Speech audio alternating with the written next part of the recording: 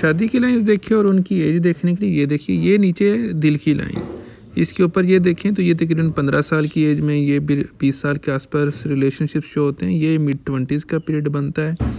ये thirty five के आसपास का पीरियड है और ये जो ऊपर इतना सा एरिया बचता है, ये तकरीबन ज़िंदगी के 20 साल का टाइम पीरियड दिखाता है। यानी शुरू में ज़्यादा टाइम पीरियड आपको नज़र आता है एंड की तरफ़ कम टाइम पीरियड नज़र आता है।